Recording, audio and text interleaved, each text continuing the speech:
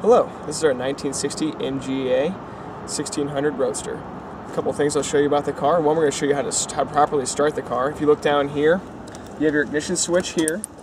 This is just basically an on-off switch.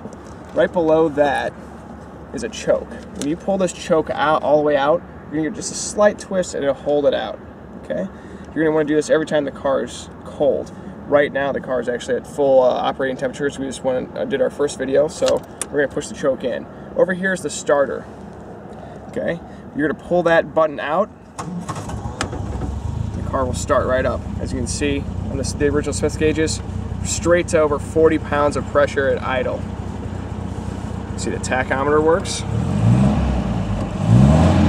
I'm gonna show you the speedometer and, and odometer here in a second. The uh, blinkers on an MGA you can see the switch. As you turn this, this is actually like a timer. It times itself out.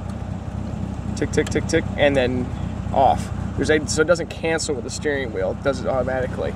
Another, so the other switches we want to show you here is the uh, the wiper switch. The wiper switch, that pulls straight out and that turns on the electric wipers. But the lights are different. They're a little bit neater. You have one click, two click, and then the third click, you actually twist it just slightly clockwise to get it to all the way out.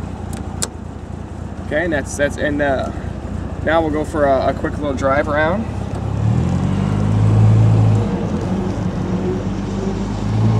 As you can see that the car has tan leather interior. It's very nice and supple, and uh, upgrade to a three-point or shoulder harness seatbelt, which is very nice.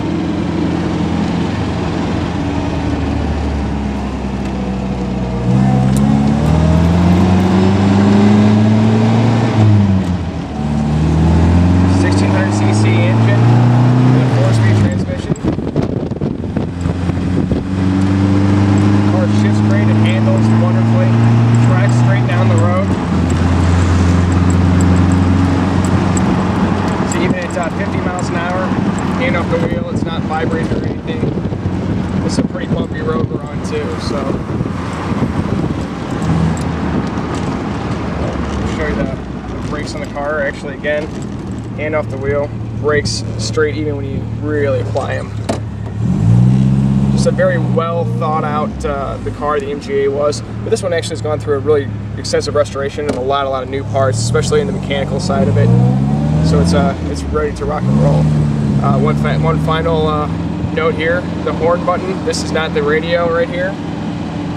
It's actually your horn. If you guys have any questions, please visit our website or feel free to give us a call stlouiscarmuseum.com.